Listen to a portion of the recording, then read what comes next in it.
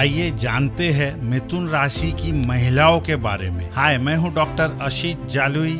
world famous zodiac power rings के आविष्कार मिथुन राशि वाली महिलाएं शांत होने के साथ ही शरारती स्वभाव की भी होती है जोखिम भरी काम करना इस राशि की स्त्रियों की पहली पसंद होती है हंसी मजाक करने वाली ये लड़कियां सामाजिक स्तर पर औरों से बढ़िया साबित होती है उन्हें हमेशा कुछ न कुछ नया सीखते रहना अच्छा लगता है इस राशि की स्त्रियां बुद्धिमान होती है